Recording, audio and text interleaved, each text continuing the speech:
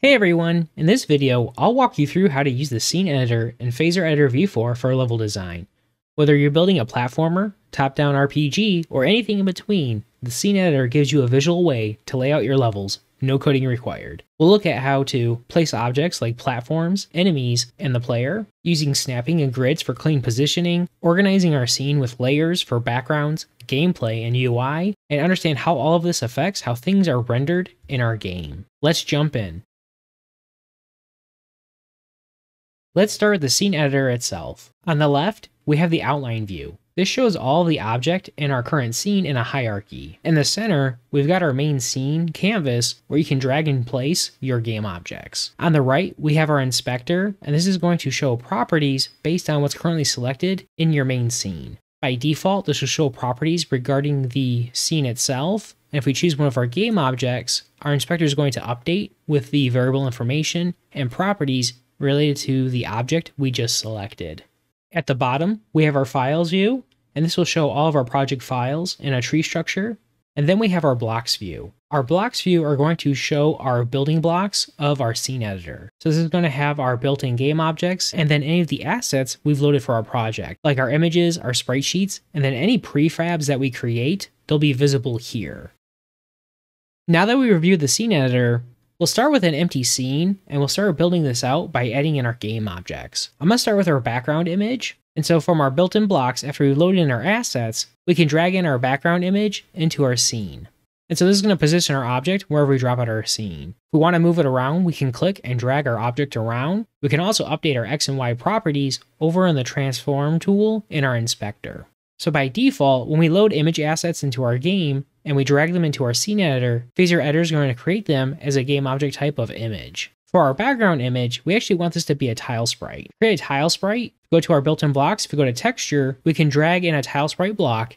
Now this will create our game object type and we can choose our texture from our assets. So if we do select, we can now choose our background image. Another way to create our tile sprite is if we choose our original image game object, if we choose our type here, we can change it from image to one of our other built-in blocks, and we can change it to a tile sprite. So I'm going to delete our second game object here. And now for our tile sprite, we're going to want this to take up our full width of our current scene. We're going to need to update our size properties for our tile sprite. So over our inspector, if we expand size, we'll want to update our width to match the width of our game. And so for my example here, this would be 256, and for our height, we're going to leave this at 112, so we keep our image at the size it is. So now we just want to update our positioning, and so I'm going to update our X position to be 0, and we're going to do 56 for our Y. And now we're going to update the origin on our game object. So by default, when we add in our game objects, our origin is going to be in the center of that object, and when we position our game objects, Phaser Editor is going to use that origin for positioning our object. So when we say 0, 0, that means the center of our image needs to be placed in a location. Instead, we're going to update our origin to be in our top left hand corner here so we can position based on that. To do that, we can update our origin through the inspector, and so we're going to update our x value and our y value, and we'll see as we update those values, our yellow circle here is updated to show where our new origin is. So now that we've updated our origin, if we revert our change to our position, so we're going to put x back to 0, so it's going to align with our left hand side of our screen, we're going to make y be 56, and that's going to position our object down here in our scene. So now we add in our first game object, we want to test our changes. I'm going to hit play to launch our game into our browser. So now if we come over to our browser, we should see our phaser game. We should see our new tile sprite image taking up the full width of our canvas element. So currently it looks like our tile sprite taking up our full width and height, but what's actually happening is in my current level, I've updated my background color on my camera to be black, and so that's why my background is black here. I come back over to Phaser Editor and I open up our level file and we go into our code, we'll see we have that code here. So I'm just going to update this to be white. Now if we come back over to our browser, we'll see our tile sprite is only taking up our width and height that we defined. Next, I'll add in our player sprite. For this, I'm going to use my player sprite sheet. I'm going to expand it and choose one of my frames from my sprite sheet. I'm going to drag that into my level. So by default, because I'm using my sprite sheet, it's going to give my image, it's going to give my game object the type of image. I'm going to update this to be a sprite. We'll replace it. We'll do save. Now let's add an enemy sprite. For this, I'm going to use my enemy sprite sheet. I'm going to choose one of our frames. I'm going to place this on the right hand side of our screen. We can wire up the logic later, but this helps us visualize our gameplay flow. I'm going to update our game object type to be from an image to be a sprite. I'm to do replace. I'll do save. If we come back over to our browser, we should now see our three game objects on our screen. Now we can create some platforms using some basic rectangle shapes or tile sprites if you have them. I'm going to add a couple of simple blocks to act as our floor and our wall for our level. To do this, I'm going to go into our built-in blocks. I'm going to choose shape. Now I'm going to drag in our rectangle. So now we can change our color and our size in our properties panel. So for this rectangle here, I'm to have this be part of our floor. So I'm to update our size. For my width, I'm to do 128 pixels. For my height, I'm to do 16 pixels. And now I'm to update our color. It's now for my fill color, I'm to do 2E063A. And now for the stroke color, I'm to have this be black. So I'm to do 000, so now if we want to move our game object around our scene, instead of manually updating our X and Y values, I'm going to choose our translate tool here, which now will allow us to drag and move our game object around. So I'm to position our floor under our player. Now I'm to create another instance of our floor. I'm to place it over here. So now I just need to create a wall so my player can't leave our level. So I'm to copy our game object one more time. And now we're just to update our width and height. So for our width, I'm to do 16 pixels. For my height, I'm to do 224. Now I'm just to move our game object over so it overlaps with our floor. And just for fun, we're to add an image that's to represent one of our UI elements, our player's health. For this, I'm going to use this life bar sprite sheet. I'm going to drag in my first frame over here into my top left-hand corner. So now if we save, if we come back over to our browser, we're going to see all the new game objects that we've added to our scene are now visible here.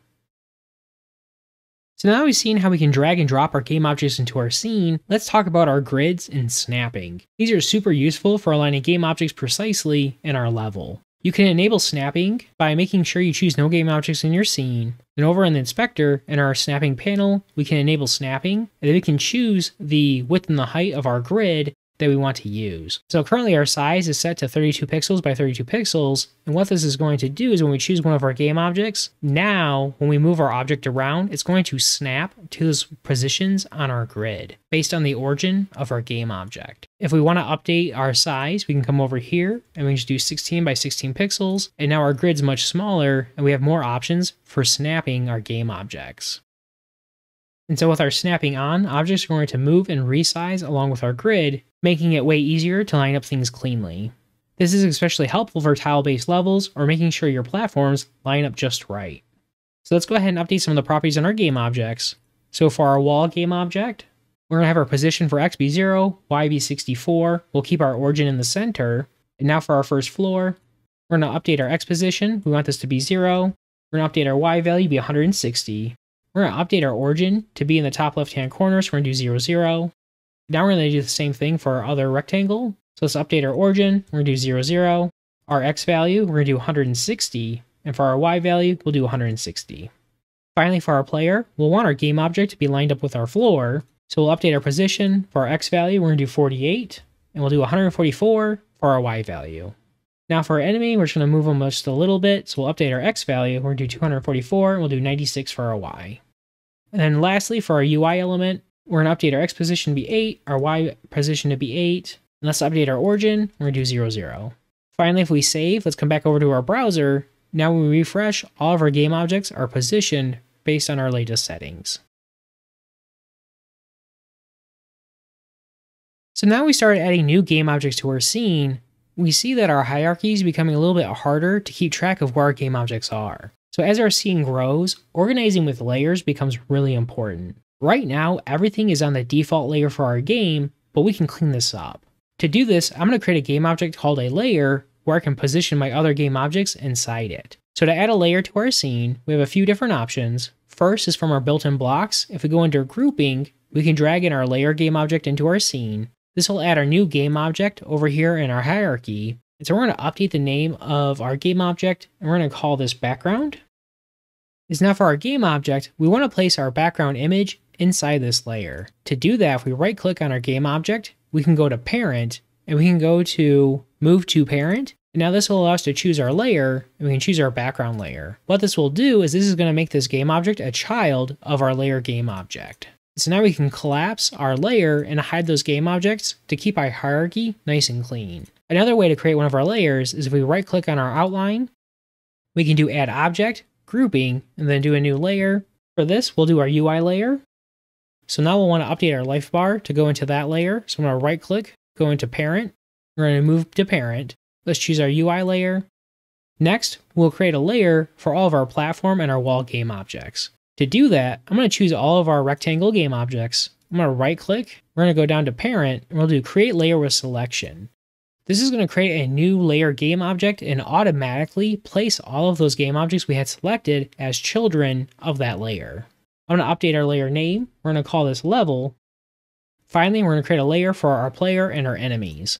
So I'm going to choose those two game objects. I'm going to do right click, parent, and we'll do create layer with selection. Now for this layer, I'm just going to call this gameplay, and now we'll save. So one thing to keep in mind is the ordering of our layers in our game object is important because this is going to affect the default rendering in our game. So game objects and layers that are higher in the hierarchy are going to appear above our other game objects in our scene. Uh, so as an example, I'm going to move our UI layer down to the very bottom. So if I do right click, I'm going to go to layout, we're going to do sort, and we're going to do move to bottom, and if we save, what we'll see is that our background image is covering up part of our life bar now. And so if we come over to our browser and refresh, we'll see now our life bar gets cut off from our tile sprite. Likewise, if we take our gameplay layer, I'm going to move this to the bottom as well. So we're going to do layout, sort, we're going to do move to bottom, we'll save. We're going to see our player and enemy game objects disappear. If we come over to our browser, because our background layer is rendering on top of our other layers, it's now hiding those game objects in our scene. So this is something to keep in mind when you're organizing objects in your hierarchy. You want to keep in mind their positioning because that's how they'll be rendered by default. Let's go ahead and organize our layers. We're going to move our UI layer to the very top. So we're going to do layout, sort, we're going to do move to top. We'll want our gameplay to be in front of our background and then our level. So we're going to do our gameplay. Let's do layout. Sort, we'll do move to top, and then we'll just move it down. So now that we finished updating our layers, let's run our game and see how everything looks. You can already see our layout in action. Our background color fills up our entire screen. Our background image tile sprite takes our full width.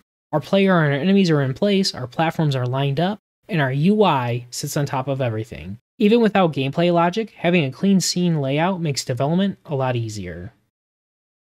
That's a quick look at using the Scene Editor and Phaser Editor V4 for level design. We cover the Scene Editor UI, placing and editing different types of game objects, using snapping and grids for pixel perfect placement, organizing your scene with layers for cleaner structure, and better rendering control. I hope this helps you start building your own levels more confidently. If you liked the video, hit the like button and subscribe for more Phaser Editor tutorials, and I'll see you in the next one.